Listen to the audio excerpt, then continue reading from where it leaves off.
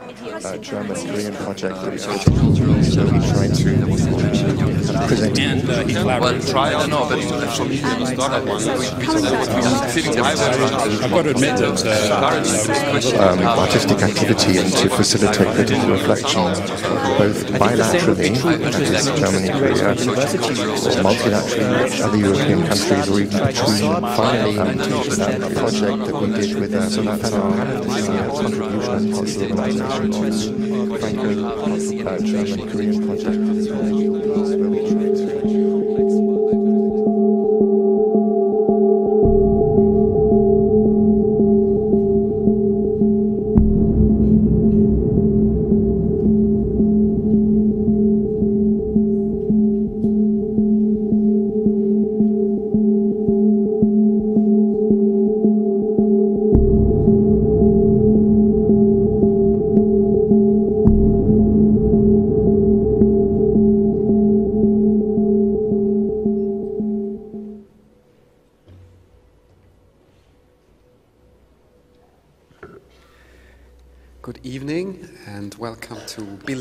Archives.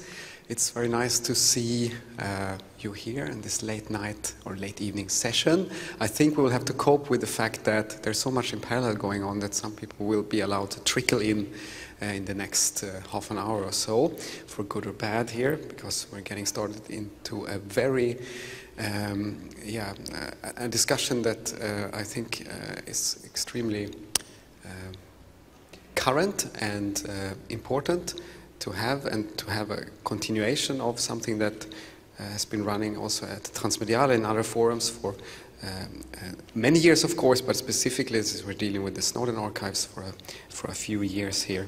Um, it's a collaboration, this event, and there's many frameworks that I, I need to mention. Um, um, it's of course a collaboration with the uh, journal Berliner Gazette, and it's part of a series of activities uh, called Diving into the Snowden Archives. In turn, these are part of the New Year theme that Krystian Woznicki definitely will talk uh, to you about, Tacit Futures. Um, he will be the moderator of this session with uh, our guests. Uh, before I introduce Krystian and ask him to take place here at the lectern to introduce the session in full, I'd like to take the opportunity to really thank you and to thank the Berliner Gazette for bringing this discussion and for bringing the workshop tomorrow to Transmediale and for uh, being able to have this collaboration with you.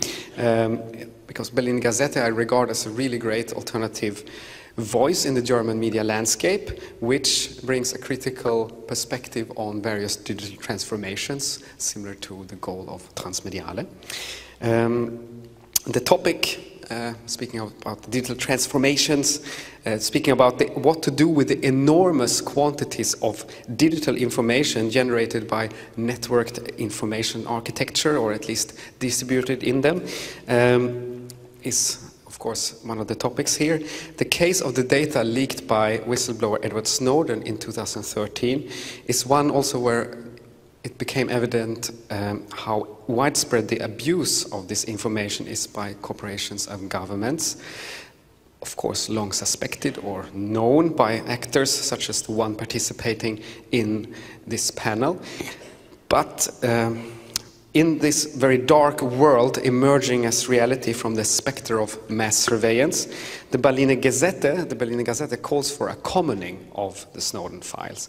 I think this carries a very sympathetic message where data, or this data is also seen as an opportunity for uh, education in perhaps more responsible data politics, for engaging civil society in resisting confirm confirmation to such invasive data collections. So how this is going to be explored by the participants and the different initiatives represented here, I will leave to Krystian uh, to further introduce.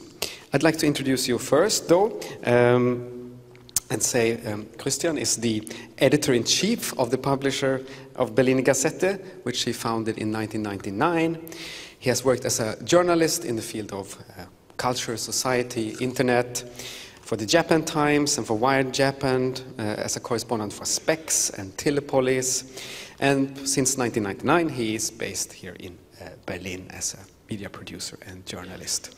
Um, we have, uh, besides the workshops tomorrow, also a session called um, Let's Talk About Whistleblowing at 8 uh, on Saturday. I hope I'm right now. I don't have the schedule in front of me. Otherwise, look it up. Where you can also post your questions in advance to the session. Uh, if you go to transmediale.de, I'm mentioning this because I think the topic is quite related to what we're going to do here tonight. Krystian, the lectern is yours, and well, welcome.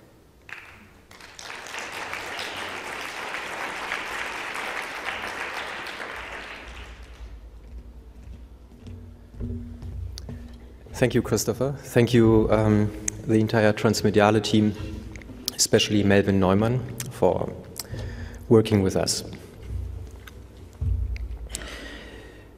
In the near future, an estimated number of 700 million people will lose their homes due to climate change and wars. Many of them will escape to the global north Already today, this mechanism poses pressing challenges. The democratic states in Europe, for instance, display ever bigger problems with preserving access to existential resources and human rights. Not only for those who now escape or migrate to Europe in great numbers, but also for those who are already here. And we have to ask can our democracies contain the spreading precariousness as well as the increasingly intransparent control of data and human traffic?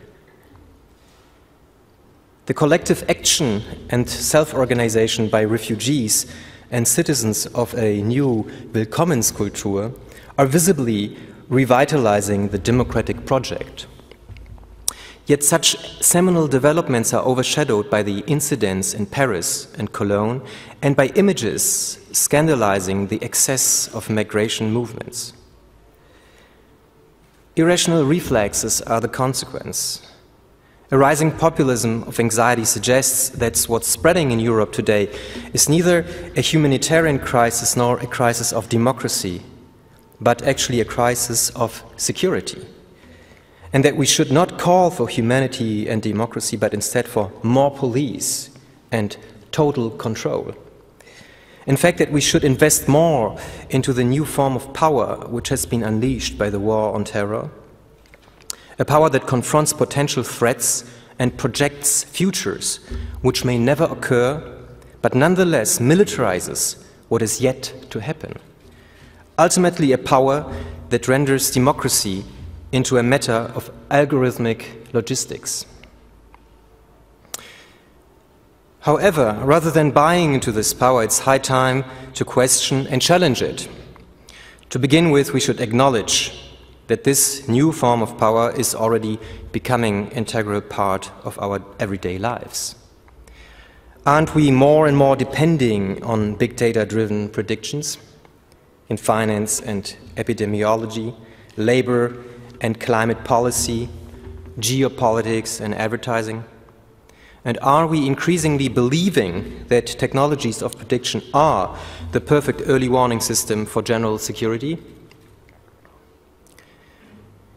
Trend researchers diagnose the spreading of apocalyptic barbitry, which actually can be described as a culture of immunization against uncertain futures and also against population groups that are singled out as threats.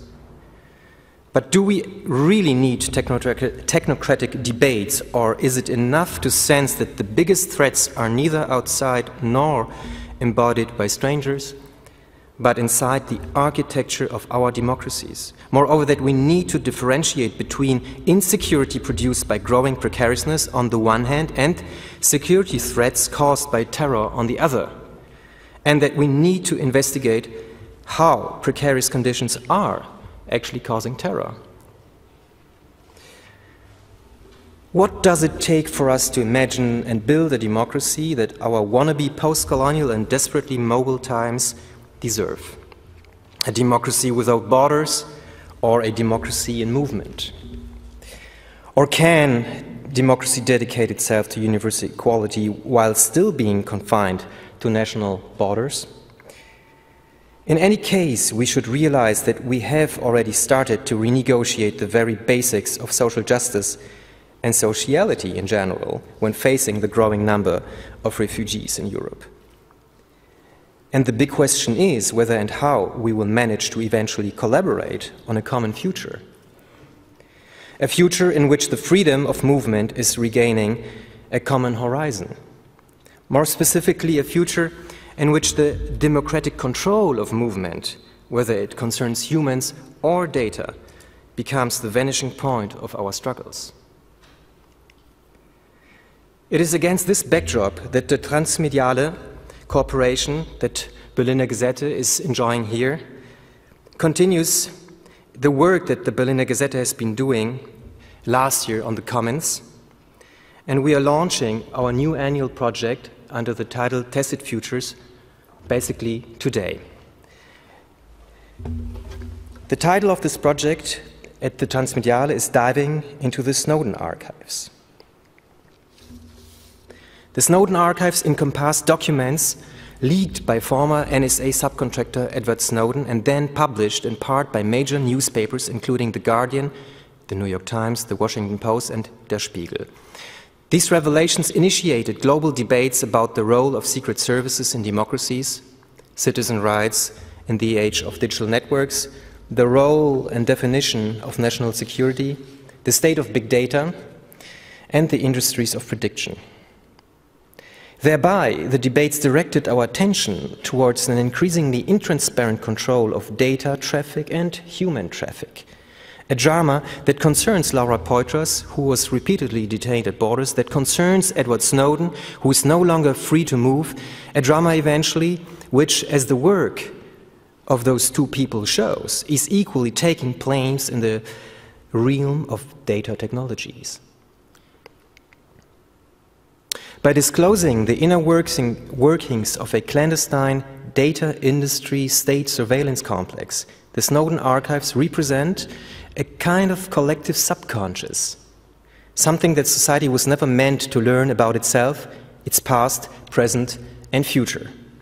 In that sense, the Snowden files can be seen as a message from children from an era that is yet to be received as Kim Ki-duk has said in a different context. Yet the interpretations of even the published documents remain unfinished due to their cryptic language and specialized information. And only a small percentage have been published so far. We can expect more revelations to emerge in the future, though it may take decades before they all enter the public domain. In this sense, the Snowden archives not only represent a repressed awareness of the design of our social and political present, they also represent an awareness yet to come, provided we can develop the tools and capacities to decode and share them. Actually, this would be a very concrete way to question and challenge the new form of power that organizes its capacities in order to preempt putatively dangerous movements by humans and bits alike. So, how can we render this awareness and knowledge into our commons? How can we incorporate it as a vital part of our common history and common future? A future in which the freedom of movement should regain a common horizon, a future in which the democratic control of movement whether it concerns data or humans, becomes our vanishing point. In order to go about this huge task, the cooperation between Berliner Gazette and Transmediale stages a panel and workshops. On Friday morning, which is tomorrow, the day-long workshop connecting Snowden archives brings together pioneering archivists of the Snowden documents from North America and Europe for the first time. It enables them to present their work in depth in order to facilitate deeper learning from processes. Additional guests who do research or run projects related to Snowden archive initiatives will provide ideas about how such an archive could be used for explorations and projects by journalists, researchers, activists, and librarians. In today's panel, first of all, we will explore Cryptome.org, which is considered the precursor of digital leaking platforms and which has been the first organization to start systematically collecting Snowden documents.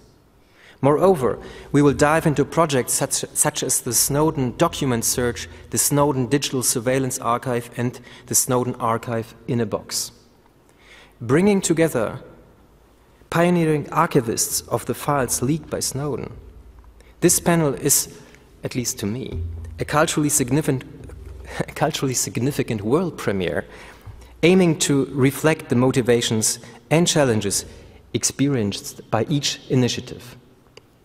I'm very happy to open now the floor and to give it to John Young and Deborah Natsios from Cryptome.org, New York. Thank you very much. And please welcome Deborah and John. Krystian. I, are we on? Yes. We are absolutely delighted to accept the invitation of Transmediale and the Berliner Gazette to join you from New York today.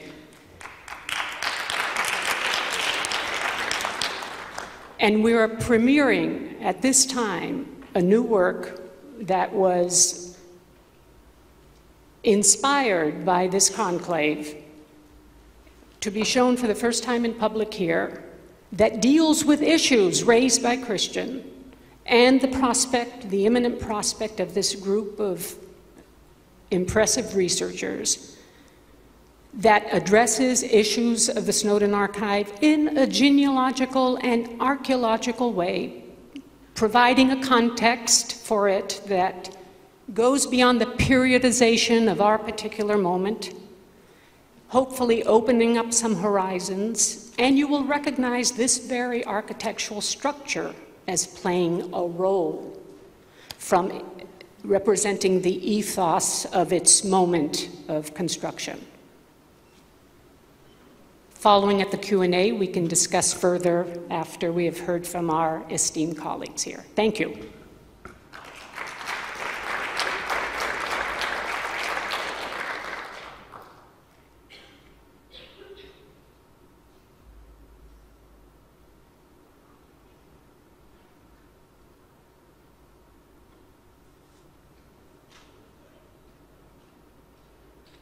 In 1950, during the early years of the Cold War, Rand Corporation scientists made what some argue is the most influential discovery in game theory since its inception, the so-called prisoner's dilemma, a classic paradigm of conflict. The prisoner's dilemma considers the scenario of one side gaining security at the expense of the common good. We will play the game with two military intelligence agents who are separated by 60 years of geopolitical and technological history.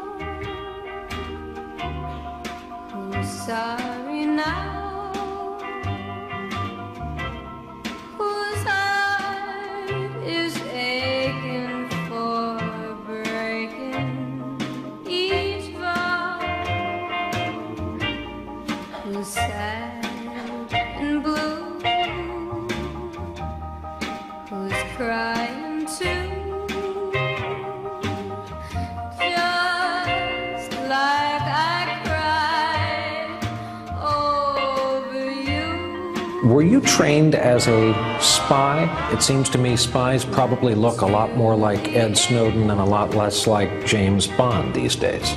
Well, it's no secret that uh, the U.S. tends to get more and better intelligence out of computers nowadays than they do out of people. Um, I was trained as a spy in sort of the traditional sense of the word, in that I lived and worked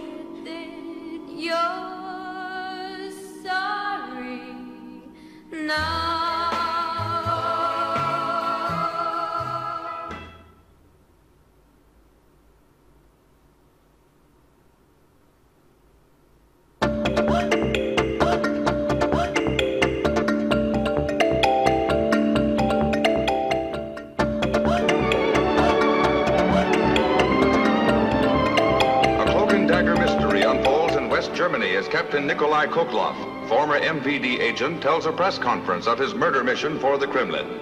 He relates his appointment to assassinate an anti-communist leader in Frankfurt, Georgy Okolovich, to whom he confided the plot instead of carrying it out. An American weapons expert examines the lethal weapons provided for the assassination. Cigarette cases containing electrical firing devices propel a cyanide-coated bullet into the victim as a fake cigarette is offered. Khokhlov tells the conference that he was dissuaded by his wife and asked the free world's help in saving her from red vengeance.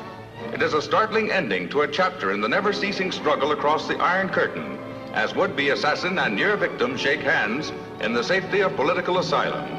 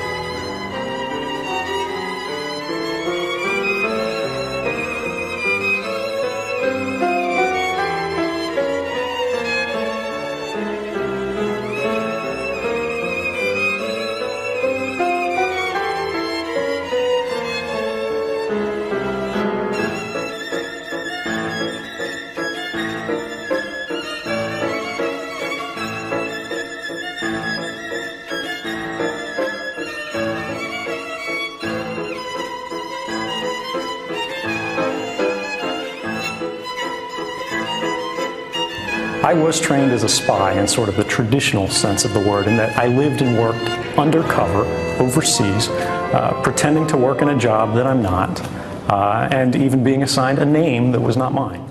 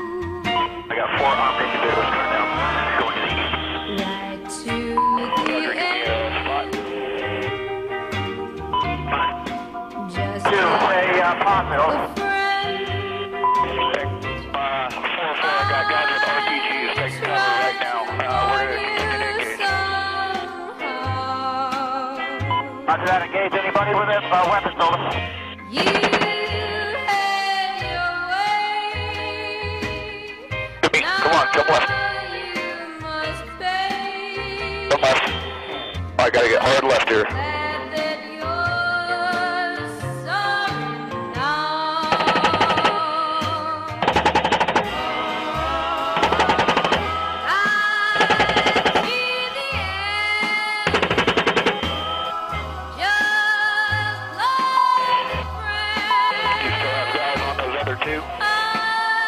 Roger. We'll be in here one second.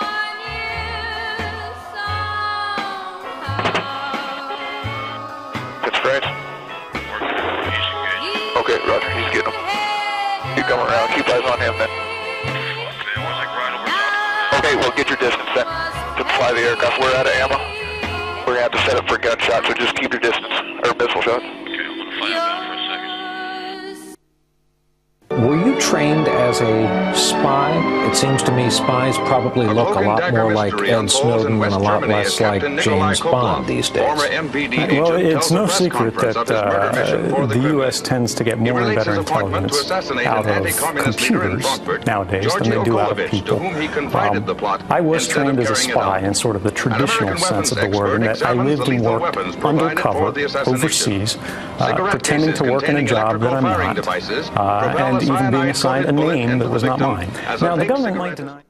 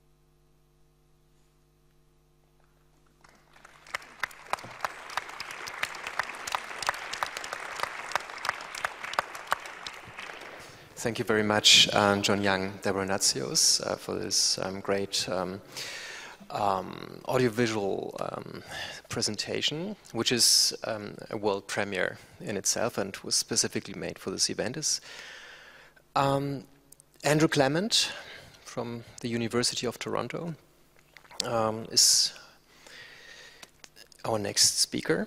The stage is yours. Thank you, Krystian. Thank you, Krystian, and all the people in um, Berliner Gazette who have made this possible, and of course to Transmediale.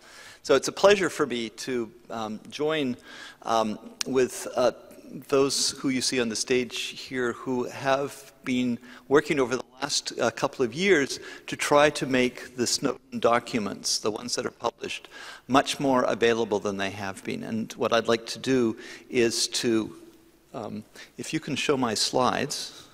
Um, okay, good. Um, uh, to, to, give you a bit of an introduction, a brief introduction, um, and also to put them in a bit of uh, context. Uh, uh, and if you have a device that uh, connects to Wi-Fi, you can follow along in a way. Um, if uh, by looking at some of these documents as I speak. Um, so the Snowden Archive is an SSID that you should find on your devices. And if you go to the Five Eyes or NSA or any agency or any URL of your choice, um, you will um, encounter the Snowden um, Archive um, of the documents, the 500 and plus documents that um, are, uh, have been uh, published. So if we, it, it's a remarkably short time ago, but it seems like a long time. But in uh, June 6th of 2013, as the second day of the publication of the documents that uh, Snowden uh, turned over to the reporters in the Mira Hotel in, um, in, um, in Hong Kong. And um, this um, particular image must have struck quite a few people as uh, as al alarming and, and, shocking. This is the list of the partner organizations, and you can see their logos across the top, and you know all, all but one of them will be very familiar uh, to you, um, who had uh, were cooperating with the NSA to provide what was referred to as direct access to their to their databases. Um, uh, this really sort of uh, let the cat out of out of the bag. Uh, for me, as a as a a surveillance researcher who had been looking um, at uh, surveillance issues and privacy uh, for some time, um, this was, um, was shocking but, but not entirely surprising because uh, uh authors like uh, James Bamford had been writing since the early 1980s about the National Security Agency and how it was attempting to tap into everybody's communication. Um, the, the, image that, uh, that really struck me um, and which I'll talk a little bit more about, um, is this that uh, was appeared um, a month later, in June 23rd. Um, and uh, this is uh, called the Worldwide Signal Intelligence Defense Cryptologic Platform.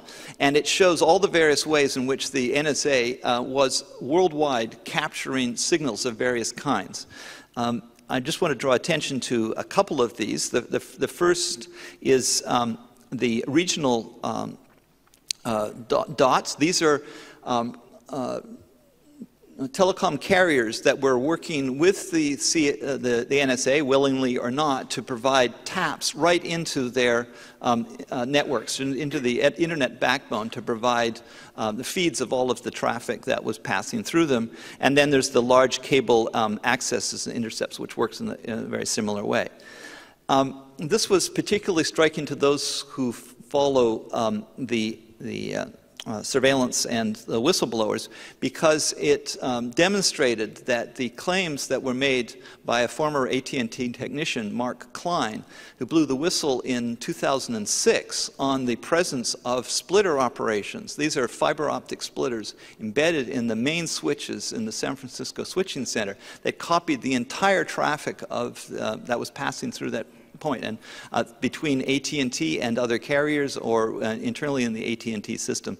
Um, and this was, uh, these signals were, were, sent to the secret room, 641A, on the, on the sixth floor of that switching center. Um, and you see there, a rather ominous building in the center of, um, San Francisco that has no windows. Um, so around that time, um, there, was, there were 40 plus court cases, there was a, a, rash of media coverage, but it died down very quickly. And then after 2008, with the passing of this, the FISA Amendments Act, um, also called the Telecom Immunity Act, the story went away because none of the court cases could proceed you know, on various grounds, and, and with, with that act, the telecom companies were off the hook. Um, so I, among others, was concerned that this story was a, was a big one and shouldn't go away, and tried to make it more tangible to people um, that your data was passing through these points. The internet is not a cloud, it's not just ethereal and out there and sort of everywhere and nowhere. Um, it is constituted through these few critical switching points at the center of big cities. And, um, and we estimated that in the United States, um, 18 cities um, would uh, comprise enough um, sites of surveillance to basically capture all of that uh, data. Uh, we developed this website to, cap, to, to encourage, uh, encourage people to submit their own what are called trace routes, the paths that the internet, um, their own internet traffic uh, takes across the net. Uh, then we would map them, and we could map them in coincidence with these, um, these uh, NSA uh, sites. And uh, what we were able to show um, is that um, indeed, from our data, that uh, in this case, it's probably not this high, but 99% of the internet traffic that we had in our databases that we, we you know, crowdsourced in this way went through at least one of those 18 uh, cities. So, in effect, um, with just a handful of sites, um, the NSA could capture the entire internet traffic within the United States.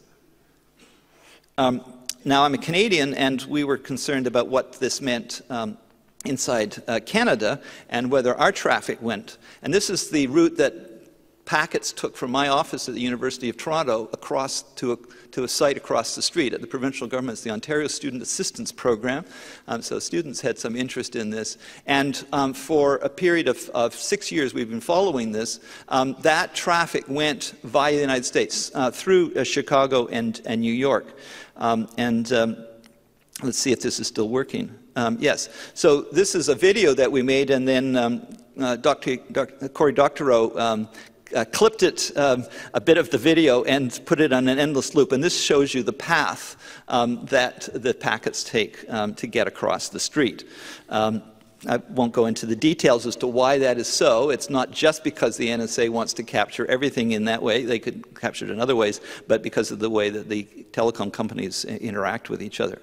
Anyway, so that is a revealing example of what we call boomerang traffic. It happens in, in Europe. Uh, Germans are concerned about a lot of their traffic going, say, via London, where the GCHQ um, is, uh, can capture it, and so on.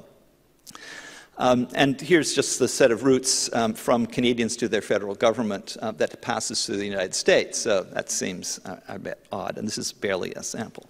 So this was the context. So when Snowden came out with these, with these documents and these revelations, um, the, my immediate question, and, and um, other researchers uh, as well, were interested in, well, who are these companies? Um, because they're hidden behind code words. This PRISM uh, case that we mentioned, I mentioned a moment ago, they, they named the companies there, but otherwise they're hidden behind very obscure, um, very odd um, uh, keyword uh, code names. Um, so who were they and where were they doing this? Um, so that was the impetus for creating the archive. I looked out um, at the repositories. Cryptome has a collection. Um, you know, they keep up to date. They've got ones from the day before yesterday, I believe. The American Civil Liberties Union, uh, the Electronic Frontier Foundation, they collected repositories, so they had listed them all, but you couldn't search them. So you couldn't look across and see all of the documents, say, that had to do with the PRISM program or that had to do with this cryptologic platform. Um, you couldn't follow a code word across them. So I, mean, I was surprised that, that there were none uh, had been developed. Um, at that point, and because I'm in a school that has archive uh, program, and I had some talented archive students, I said, um, why don't you uh, build an, an, archive of these documents? And they took to this with, with relish, and within a year, they had developed um, this, the, the archive of all of these documents with searching aids and, and finding aids, um, indexes, and so on. Um, now, there was other motivations, of course, for this. Um, the, the wider project is to help um, everyone, researchers, um, re uh, academics, uh, journalists, um, but also lay researchers, um, people who are interested and curious about this extraordinary phenomenon, to um, gain access to themselves. The, the Snowden documents um, are, I, maybe don't I need to say this uh, here, but I mean, are of, of of historic importance in shedding an unprecedented light um, into the sort of deep state, the, the, the hidden state um, that conducts um, its, uh, its affairs so secretly, but, but in, in some ways so consequentially for us. So we needed to be able to look at that. And also um, these brave whistleblowers, Snowden, but also others from the NSA, uh, Bill Binney, uh, Tom Drake, Kirk Wiebe, and also Jesselyn Radack, who was involved in that. Um, uh, these archives are testimony to, to, to their contributions here. So a year ago, uh, March, um, we, we launched publicly the, the archive. Um, it was broadcast on the Canadian um, Broadcasting Corporation live webcasting, and Edward Snowden um, uh, appeared by, uh, by vi video connection to answer questions, and um, uh, with the help of the Canadian Journalists for Free, Free Expression. So we were very proud to be able to present this. Um, and, uh, and so far, we've got you know, lots of, of, of interest. Um, just to give you a brief flavor for how it works, um, it's, a, it's a very old school kind of archival um, uh, collection.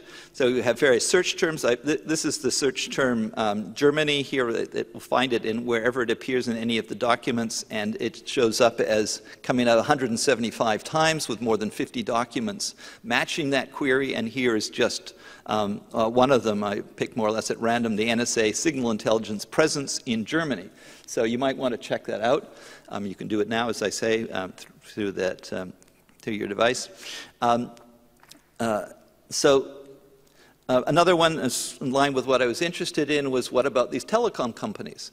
Um, in last summer, um, the New York Times um, published um, this document called uh, NSA uh, Special Source Operations Various Documents. It, it combined them and wrote um, this story, um, AT&T helped the U.S. spy on internet on vast scale. it also mentions the other large U.S. telecom provider Verizon. This is a map in that collection um, of, uh, you know, of, of, key sites, um, but under the code name Stormbrew.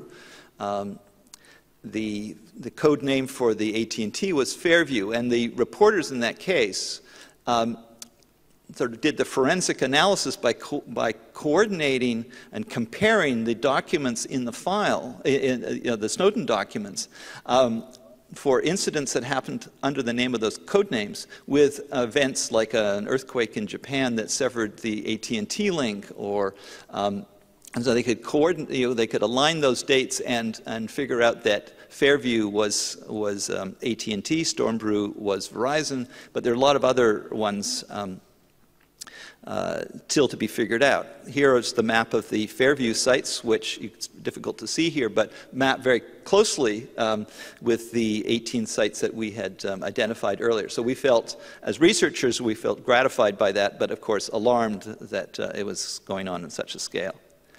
Um, we've begun mapping those um, with um, some work with Bill Binney, um, who has plotted the locations of all of the AT&T facilities and Verizon facilities around the world, and now we can do a, you know, a, a mashup showing those locations.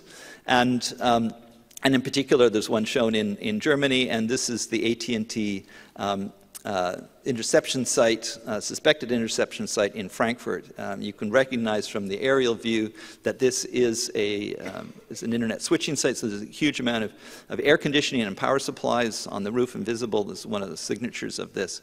So you can track these down um, to the building. But there's a, a, vast amount of other information um, buried in these um, documents um, which uh, remain to be un, um, unlocked. Um, as, as, Krystian was saying earlier, these are, um, these, this, is this is coming, it's a tacit future. The, these can be uh, derived from those documents um, uh, if you can work at it. But now that they're out there, we hope that you will take some interest, and uh, we'd be very glad to help with you, help you do this. this Snowden archive is a uh, work in progress. If you try it out, you'll see that it's a bit clunky. It's, as I say, it's sort of old school. We're moving to new platforms, but we'd welcome your feedback on this. Um, we're also looking to work with others who can help us follow those research questions, like who is the carrier um, that's uh, behind the code name lithium, for instance, or vice versa. Um, one of the major international carriers, backbone carriers, is called uh, Level 3. They're the largest in the world. Um, you may not have heard about them, but they are the ones who carry most of the internet traffic around the world. Uh, you know, who, you know, which, which code names uh, do, are they associated with? And we're also looking for mirror sites, and by that we mean sites who will host this web service, say in a university or in a library, um, for a couple of reasons. I mean, one is, is to make it more available. Uh, one is to, uh, as, a, as, as, is common with mirroring, to make it more robust. If one gets shut down, um, then the other is still uh, available. And also, it will protect um, uh, from exposure of internet traffic, say students who are working on projects, um, if they do it on the, the, camp, on the university campus, and if the campus has secured its networks against these kinds of intrusion, at least there's some better protection. Um, so for various reasons, um, we, are looking for, for mirror sites. But another more radical way of, of being able to ensure that you can access this network or, or, or this, um, this archive without exposing your traffic to the interception um, by the NSA is to actually take it off the net and put it into a box. Um, the Snowden archive in a box, and um, I'll turn it over to Evan Light. Here. Evan Light from Concordia University in Montreal. Um, thank you very much, Andrew Clement. Please welcome Evan Light.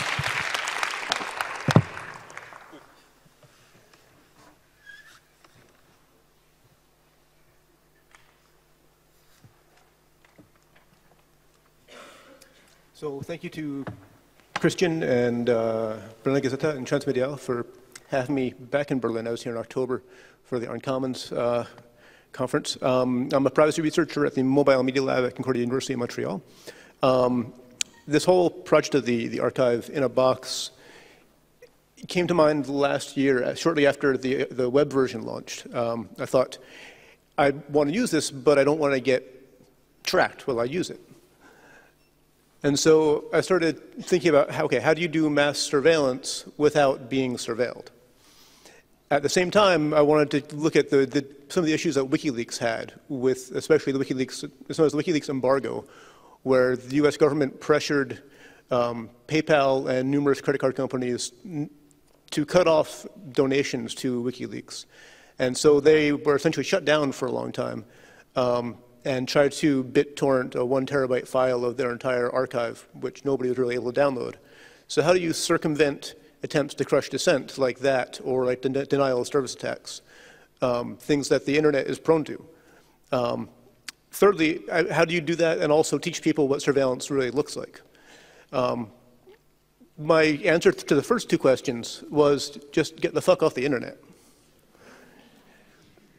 But how do you do that?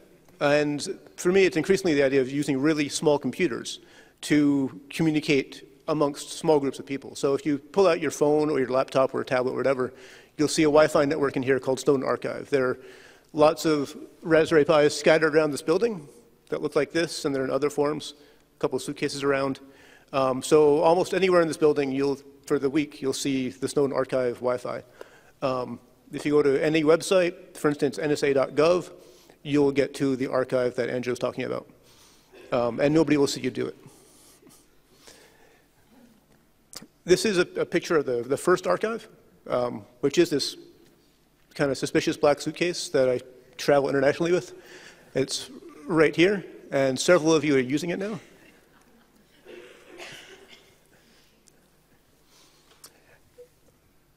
The question of what surveillance looks like, though, was a little more complicated, and I wanted to somehow be able to show people what it, what it feels like to be surveilled. Um, and if we can get a camera on the suitcase, I'll show you that you're being watched. And this is what happens anybody, when anybody, anybody uses the internet. You're being watched quite transparently. This is all the conversations happening between people's phones and the servers in this suitcase right here. Just, well, actually, one of these that's in the suitcase.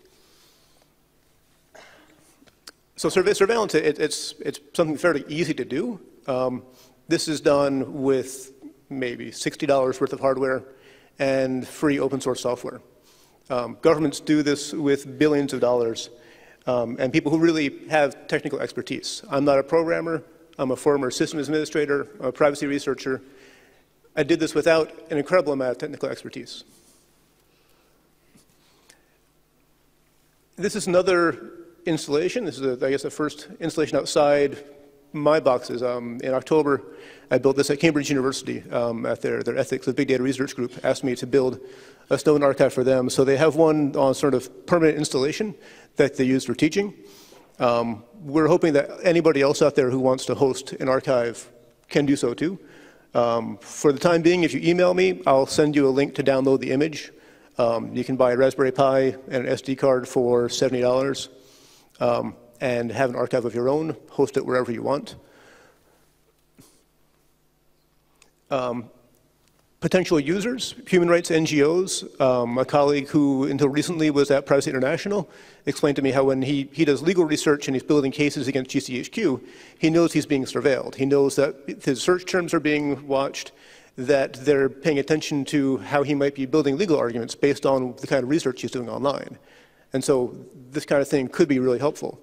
Again, academic researchers, like Andrew said, um, some people don't want to be surveilled. They don't want to be maybe pigeonholed into the idea that they're doing something wrong by doing their research.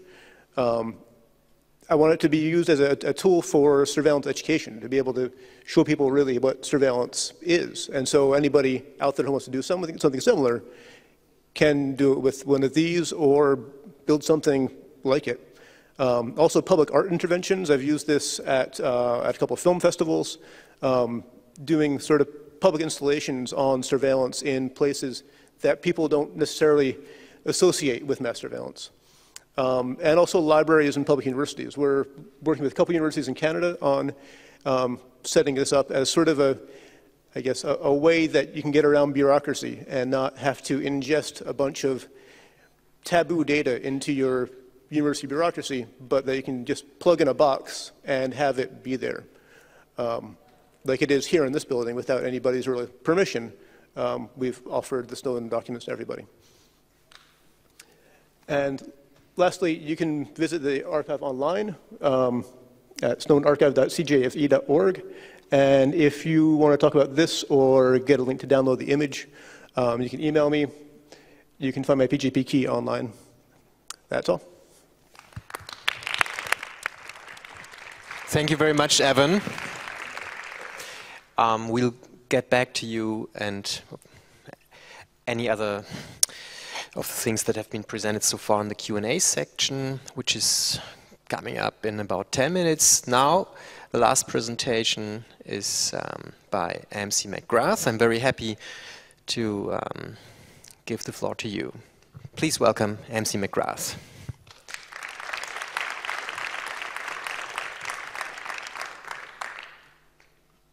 Does it work?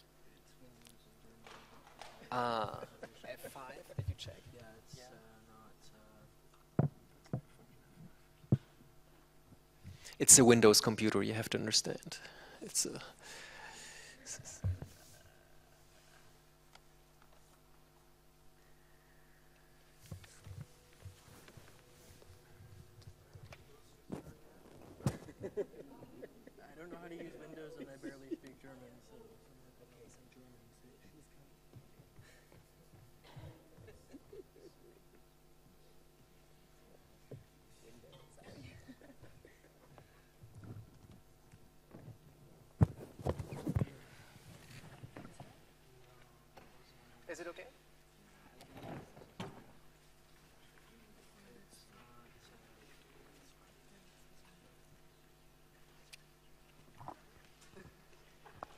about that. Um, so I'm MC and I work on Transparency Toolkit, making free software to help people collect and understand documents. And one of the projects that we worked on along with uh, Courage Foundation is a searchable database of all of the uh, published uh, Snowden documents.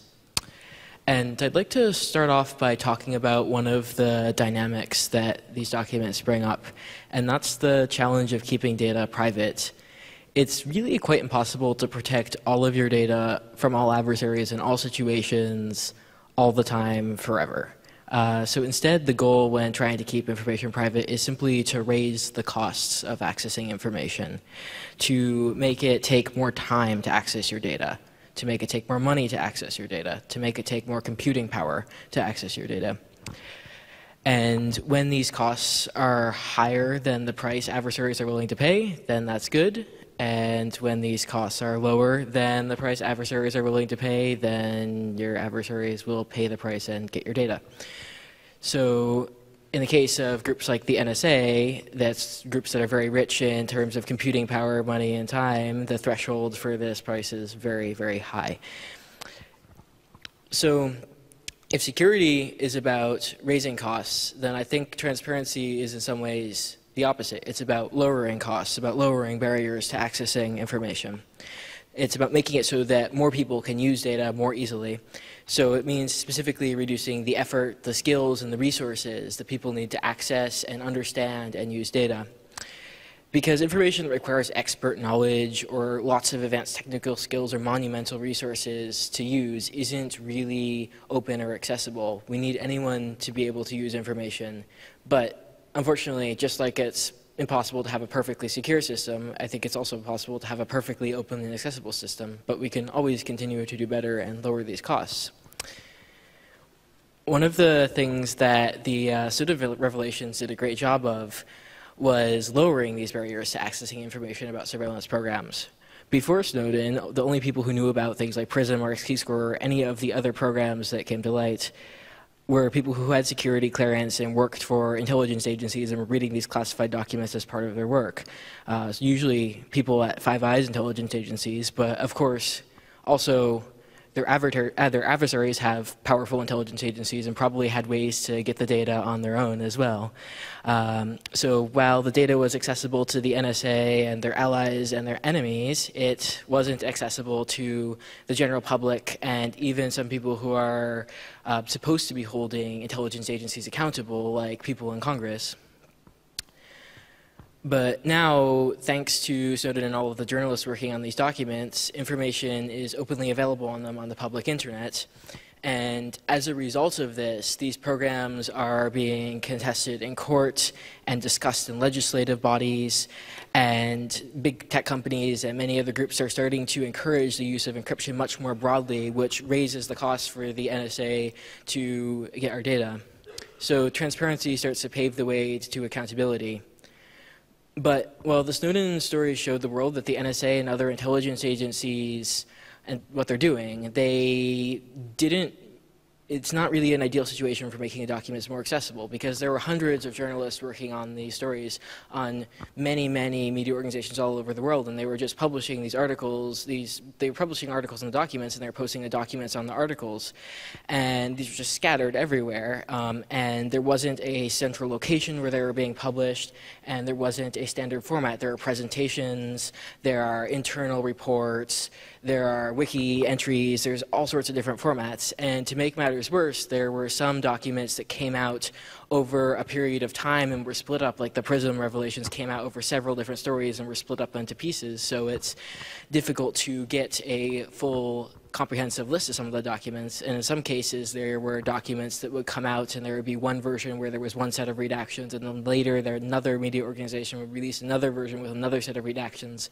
So even if you found the document you were looking for, it might not be the right version or the most complete version. So in 2014, I started looking at this about a year after the revelations that are coming out, thinking there must be some repository of all of them in one place where all of these are easily accessible in a nice format. And I didn't really find much. There were a few repositories, but none of them were searchable. None of the documents couldn't couldn't search through them or go through them easily. They were just lists of documents at best, often very incomplete, with inconsistent criteria for getting the documents included. So I was a bit frustrated because this is one of the most important sets of documents, but there was no decent archive of them. And several journalists who were writing stories about the Snowden documents were also talking with me about how it was very challenging for them when they were looking for documents that they knew about that were published to even just find those documents so that they could reference them in their research. They couldn't find them. And how they wished that there had, was a central repository for published documents to make it easier to browse. So we started to build a searchable archive of all of the published Snowden documents to get them in a more consistent and accessible and searchable form. And we soon joined forces with Courage Foundation um, to work on this archive because they have this fantastic list of documents on their website. Um, and this is the Snowden document search that we made. Um, it lists all of the documents as well as various bits of related information. And of course, it's possible to search the full text, both all the fields where you can filter by various dates of release, things like that.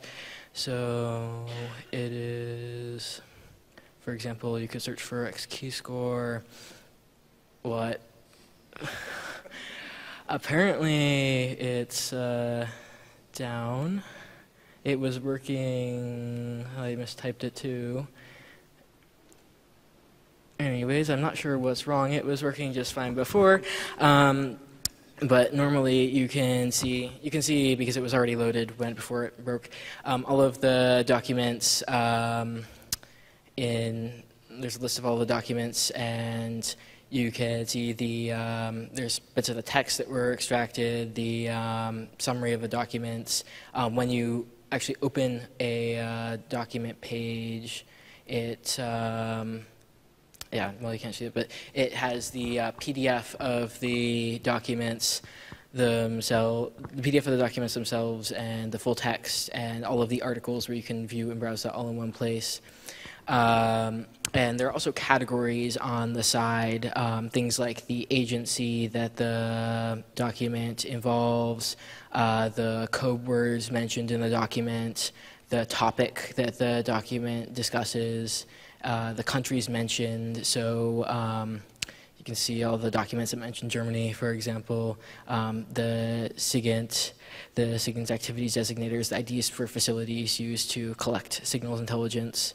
And some of these were automatically extracted, like SIGADs and classification headers, because those are in very standard formats in the documents. We automatically extracted them. And others uh, were manually tagged, like the document topic, and others are both automatically and manually tagged, like the countries mentioned. So since launching this in June, we've heard of a number of people using the Snowden document search in interesting ways. For example, we've heard of lawyers using it to find all documents to, that they need to uh, mention in a legal testimony, and we've heard of programmers using it to find technical details about different attacks that the NSA uses, like quantum insert attacks, um, so that they can build software to detect them. And these use cases would be much, much harder if there was no central place to search through the full text of all the Snowden documents. But because we have this, normally when it's working, um, it, uh, people can just go to the archive and use it to search for the information that they need in a few minutes. Um, so with this, we've made a lot of progress towards an accessible, usable repository of documents, and this extends beyond just this one archive too, because all of the tools that we made for this um, can have been and are um, being used to uh, build similar archives. And we've turned all of the software that we built to make this archive into free software that anyone can use for any set of documents to get them into a more accessible format. So we use um, so we made tools so that people can easily extract text from documents, um, extract different metadata, process them, as well as a search software which we've used um, and a number of other document sets like uh, this one uses the same exact search software. Um, and this means that while it took us nearly a year to make the original Snowden document search with going through all the data and going and making the software and testing and using it. Um, it's now possible for us to make similar archives in about a weekend. Um, and when it's possible to make archives of sets of documents like this very quickly and with little technical knowledge, uh, that's incredibly powerful. So I think it actually lays the framework for making it easier to access those documents like this earlier on in the future so that we don't have to wait two years before we have searchable archives of something like this noted documents. Thanks.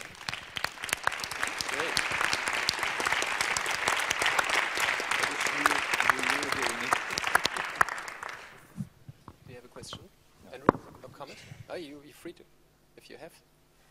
I'm, se I'm serious. All I was saying is I wish I'd known that you were doing that before I started. Yeah, maybe, maybe you felt the same way. That's the very interesting situation that Because we're doing it in basically everybody thought there was nothing out there, let's do it. And so, yeah, that's. Um, yeah, brought us together. exactly. So now you can talk. Um, but before you guys talk, or maybe not, but um, yeah, well, there is already somebody. I was hoping for that. Please. Uh, I arrived here and then I saw the Snowden archive Wi-Fi. And I was delighted that I could connect on it and that I could browse once these uh, famous uh, archives. Uh, and then a bit later I thought like, oh, I'm going to check once on the network. And I do Avahi Discover and I can see all the other people which are connected to that network. You were introducing that you use a Raspberry Pi, and then I thought mm, maybe I just try to log in once in the machine of uh, uh, that you're carrying there, and I tried the default password, eh? Pi at the IP address, and I try Raspberry, and I can connect to your box. Then uh, I think like, oh. Shit, I go to the downloads folder because I thought mirror, mirror, mirror on the wall. Eh, I take it in, I take it all, and I can distribute it somewhere else. Maybe in another archive, in another uh, GUI. And the downloads folder was protected. But then I thought like, oh, maybe I should try to go root. And I went root, huh, to, mm, and uh, in that root there was no password. And then if I go to the downloads folder, I can take it all. So I'm very interested in cryptography and in archives and in sharing archives. I'm interested in spies revealing documents. But of course, you have to also realize uh, once people are entering certain archives, uh, and also redistributing them, that at least you have to somehow also uh, protect uh, their identities logging into uh, your uh, machine. So I was wondering whether we only talk about uh, reverse, or that we can also talk reverse crypto and not only like taking what the NSA was. Uh, I- don't know. I was a bit. Uh, so please remove my MAC address because I don't know how to do that.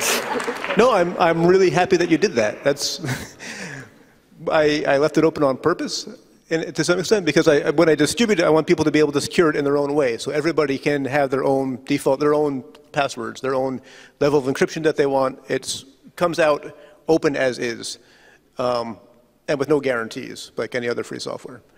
Um, but you have a good point. I think if anybody runs it on any sort of scale, if they, they, they should protect it. I've left it open more or less on purpose.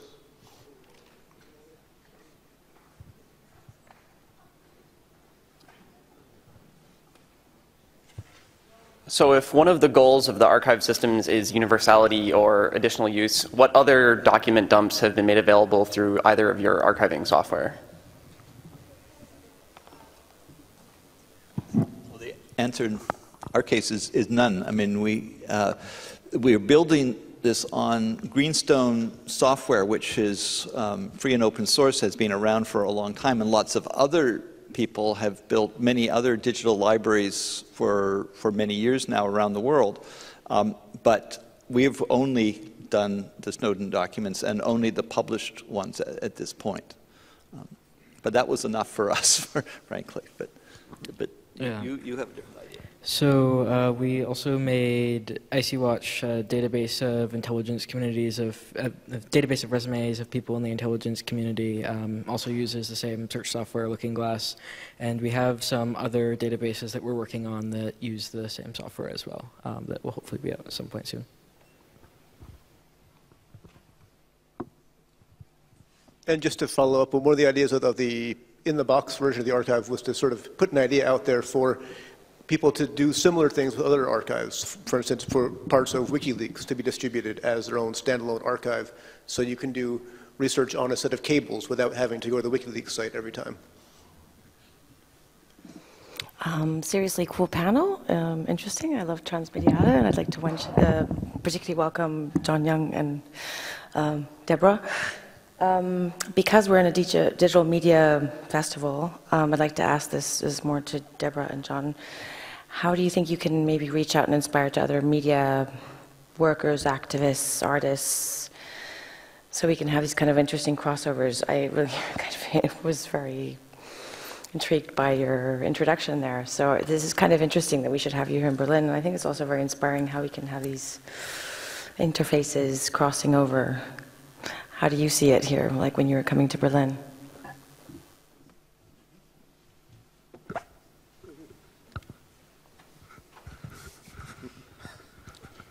NSA has two major functions. One is spying and the other is counter spying.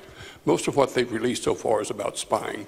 They released, so far, the media has released very little about counter spying, i.e., the tools we need to protect us from NSA. And we find this rather strange because surely Snowden knows both. He, he trained as a spy and as a counter spy, and every spy agency has both. And you can't have one without the other. And so that we're, we're crippled right now because we got about 10% of the so called total. It's nearly all about spying, but very little about counter spying. We don't know if that's going to ever be released or not, because that's some of the most classified material they have is how to prevent being spied upon. And so um, we're frustrated right now. We, have been covering counter spying most of our career in Cryptome. Uh, that's cryptography, uh, COPSEC of various kinds, and the technology of that. And we've received very little technology from these releases. We've had a lot of narrative stuff, mostly about civil liberties, and which is fine. That's what, probably what interests most people.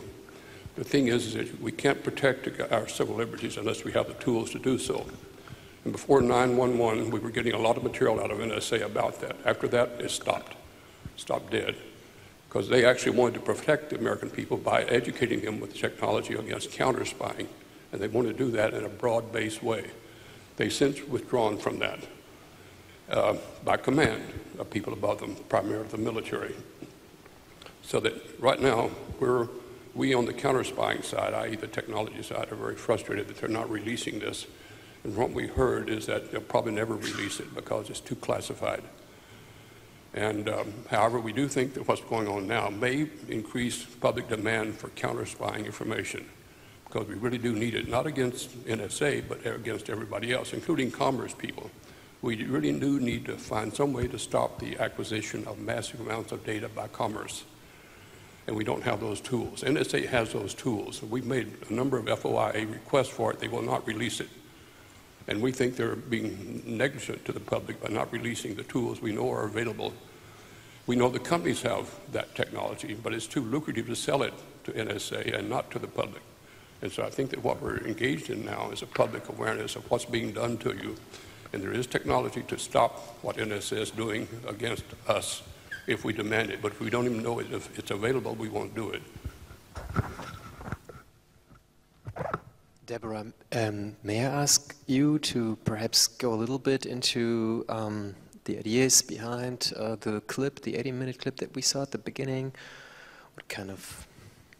Well, we are frustrated because there's a second secrecy regime in place at the moment and that is a secrecy regime imposed by the stewards of Edward Snowden's cache. That is, his media proxies who entered into an agreement with him that is, that is uh, somewhat obtuse, not well known by the general public, what was agreed to. At the moment, there is no transparency about the fullness of this archive. It's become very mystified, and the proxy agents are mum about it. Is it because Edward Snowden is negotiating a return to the US and the authorities have threatened his future prospects? If there are any more more serious disclosures, perhaps of the sort John Young has mentioned, technological disclosures. So we find that we're at a moment where we're looking for another leaker from the proxy group to do a second uh, iteration, second generation disclosures to the public, to the public domain. there's a great reluctance to acknowledge the public domain and serve it with these taxpayer paid documents, which the NSA trove are paid by US taxpayers. False tallies, plus or minus false tallies, the piece you saw earlier. We choose to track two agents of state militaries spread 60 years apart and yet related to each other. And we position them as a literary uh, uh, device in this prisoner's di dilemma engagement with each other. And we track the extremely mobile activities of these two agents who, as in a sense, border and sovereignty enforcement agents for their respective state militaries, were mobile. Nikolai Khokhlov, of course, in his era, is moving around those Eastern European spots where he was always under alias, assuming an alias of a state not his own, and that was the game, the national state, still with those strict borders, so your identity was state bound. And then 60 years later, we see Edward Snowden also being shifted around the Beltway area and then abroad. And the scale is very different this time. And his aliases, he claims, he also worked under state alias. But now he's also participating in online social media during the 2000s in Ars Technica and others. And he begins to assign himself aliases. He's investigating his own, one can say, personhood through the ability that privacy allows you that space for personhood. And at a certain point, just as Nikolai Khokhlov found a kind of geographic rupture when he was working in Karlshorst and then in Berlin, and his rupture of aliases occurs and he breaks through his own state military identity and moves to, you know, breaks across the border to the west. So too, Edward Snowden in Hawaii, that very geographically diffuse location in the middle of the Pacific that many Americans hardly consider Hawaii to even be American, we're already in the borderless mobility. He's already occupying this borderless, uh, uh, beyond sovereignty condition that the NSA's tools at the moment are trying to re-border, re-territorialize this post-territorial condition that we're in. And so he finally, in his own personhood breaks through and starts assigning himself not the state derived aliases, but he calls himself the true Hoo Ha early on. Then eventually we've got Verax and we've got Cincinnatus and we've got Citizen 4. He assigns those names to himself. And then eventually he ruptures and, and moves beyond in this post state uh, identity. So we track all of that because now what? He's in Moscow he has the prisoner's dilemma in a, in a sense that he cooperates with whom. He could cooperate for mutual benefit, but chooses, you know, game theory suggests he will not do so. He is, uh, he appears as a kind of uh, mechanical cyborg on, on these teleprompters at various conferences. Where is he? His trove is now in the hands of his media proxies, and it is under an opaque veil where there's time released kind of proprietary material that's part of a supply demand uh, economic model. They are, you know, Intercept and others are, they've made money, they've published their books, they've made their movies, they've won their awards, but they continue to deny the, the public realm, the public sphere, the idea of the public domain. And so we look to a next generation uh, rupture to break open that trove. And when people say the, the, the uh, collection is incomplete, uh, indeed, and, and, not searchable, well, it is incomplete.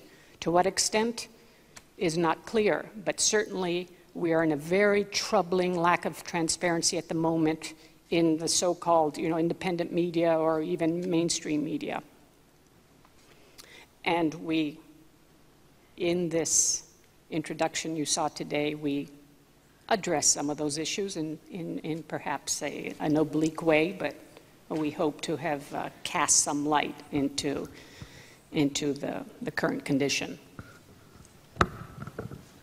Thank you very much. Um, are there any um, commentaries from the audience at this stage? Do you guys um, feel like? Yes, John, please. Yeah. Well, you're in a perfect spot. The largest CIA station is in Berlin. It has been since the end of the Second World War. More. So Berlin has the largest collection of CIA agents in the world. CIA drives NSA. They set the targets for it. They bring in the intelligence. And so um, be interested to see um, what you could do in Berlin about this, because I think that we in America are trapped by law and by tradition and by patriotism. So we think it's going to come from the outside. We don't think it's going to come from inside the U.S. It's too lucrative to stay inside. We think it's outsiders who've got to bring this to a head and demand to see what else this Snowden archive contains. If not, then say we've got to encourage others to come forth with it and abandon Snowden. We think that right now he's in a terrific jam right now, and unless people demand there to be a change, there'll not be a change. The releases have almost stopped. Now they're about once a month, and they're getting more and more shallow and less informative, and there's less to them. And so right now it looks like that uh, either through negotiations, as Deborah said, with the USG to free Snowden, get an amnesty or a pardon, is it probably going to slowly die out. But not least of which is no longer as lucrative as it once was. Very little of this is being shared with other media. It's almost totally contained with The Intercept right now. A so-called non-profit organization has tremendous financial backing and does not need to make money anymore. So they pretty much cut off all other sources of publishing these documents. Now, we know there's been tremendous interest in Germany for this material, but I think they have to ask for more. And I think that right now there's a terrific problem within Berlin that needs to be addressed by Berliners if, or other German people. And I think it just won't come from the inside the United States. Over to Canada. Yeah, I guess I, I have um, something of a, a different view. I recognize that there are thousands and thousands of documents that he that Snowden handed over in Hong Kong that haven't been released, and I share your concern that um, that over time, um, well, both the chances of of Snowden getting out of his uh, exile uh, um, or or um, are doing so safely anyway um, and also the chances of bringing the reforms that are desperately needed diminish over time. And certainly, release of more documents and, and more publicity about them will, will greatly aid that.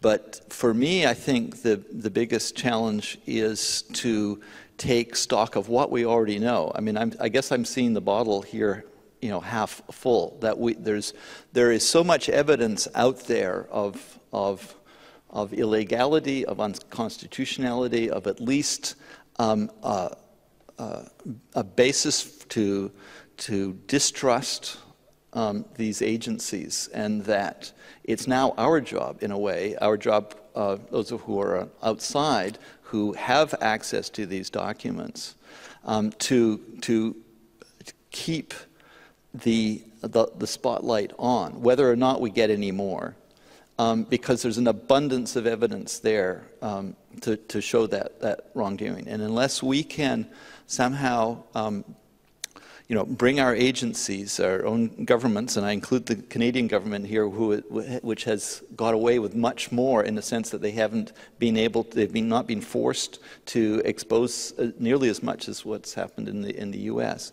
Unless we can get them to um, uh, to become much more accountable um, and, and, much more seen to be within the bounds of, of law, constitution, and democratic process, then, um, then in a way, the, the release of the Snowden documents will have had a perverse counter effect, that will, it will have normalized the embedding of, of you know, ubiquitous universal surveillance into the very communication infrastructure that we depend on, and we will have accepted that. It will be the norm. Um, and so far, that's what's, I think that's where it's headed. Uh, in the US, there was a lot of um, uh, of furor about the, um, uh, the, you know, the Patriot Act and rolling back at least some of the metadata collection, but that's about it. And the pressure to, for reform is dying out. In the, in the UK, um, there hasn't been any substantive changes. Um, and in Canada, what we've seen is the, the government recently, the previous government anyway, um, introduced a far more draconian and dangerous, um, arguably unconstitutional anti-terrorism act that gives relatively unfettered access to these, these things. So we've actually gone backwards. And we're basically, and we, I mean, I include myself, but, but, but uh, collectively, um, un unless we do something, you know, dramatic, it will have become the norm. Um, so um, it's, it's not just on the intercept and it's not just on the gatekeeping journalists at this point. I think it's on the, on the rest of us um, to, to act on what we've um, encountered um, and act in, in various different ways um, about holding accountability, of, of uh, forcing the kind of transparency that hasn't um, yet uh, happened. So, you know, in, in, in that sense, I'm, I'm not very optimistic. but I think we need to lead with hope and we need to um, take advantage of what we have. Thank you very much, Andrew. I see there is another question from the audience. Uh, my question is for John and Deborah. Uh, due to the overlapping programming here at uh, Transmediale, I only saw about the, the last uh, quarter of the film or so, but it, it, provoked a question in my mind. I'm Brian Holmes, by the way. Um, I think to be tracked, to be recorded, to be known, and to be predicted is really to be contained as a person, you know? And I think that the incapacity to surprise the other is really the same as the incapacity to surprise oneself. That means to be able to invent oneself. That means to be able to be something other than what has existed in the past. And that's really a, a tremendous uh, lack that's, that's created by the existence of this uh, surveillance system. I think that in the past, during the Cold War, there was a period where this problem was recognized rather massively, and there were many different aesthetic, political, psychic, psychological strategies that were developed to try to overcome that. I saw in the film a, a um, such an attempt, as a matter of fact, by tracing the geography of control and tracing the, the formal structure whereby that, uh, that geography is exceeded and where, whereby uh, you know, positions within kind of topological structures of control are reversed. I'm wondering, two, I really have two questions for you. One, what are your thoughts about these kinds of aesthetic uh, uh psychic uh, and also mathematical strategies? And second, to, to what do you attribute the lack of such an aesthetics today? Because it's really very rare, despite, the, despite what, uh, well, what we have known for years, namely that uh, the structure of control that we live under now is every bit as intense as the one that marked the, the Cold War period. Thank you very much. Thank you so much for that question, and it just uh, chills me and, and, provokes me. And you know, one hopes in the theme of this, these sessions over these number of days, conversation piece, conversation, that conversation is a portal to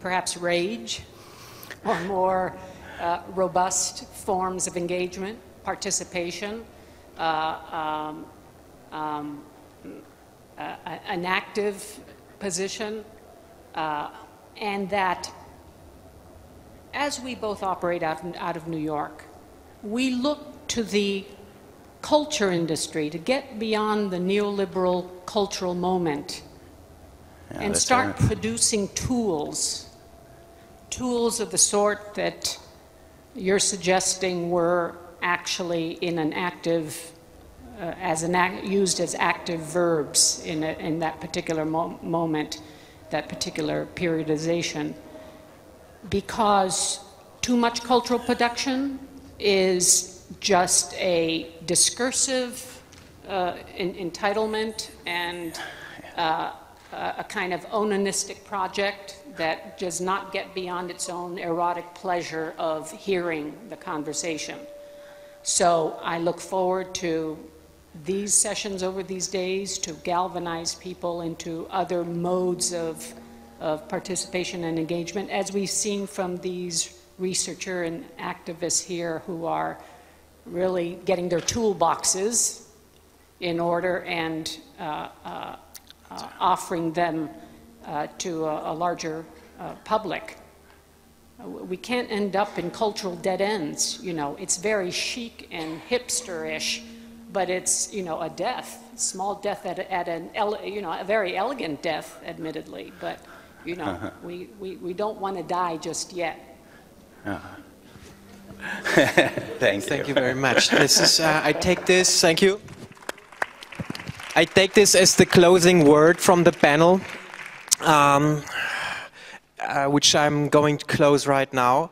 It was very, um, yeah, exciting uh, for me, and I hope for you, for you as well, to to be with us um, here tonight with uh, those, um, yeah, pioneers um, of, of archiving um, the Snowden leaks and of course also of researching around those issues. What I take um, home among many other things is that I think we are very much challenged uh, to um, deal with a variety of, um, let's say, temporal tracks yeah, we have on the one hand the material at hand that's already out there and this uh, um, material is taking time to be um, processed. It's, um, I don't know how many years, but it depends definitely on our um, yeah, ambition also to really process that material and to also um,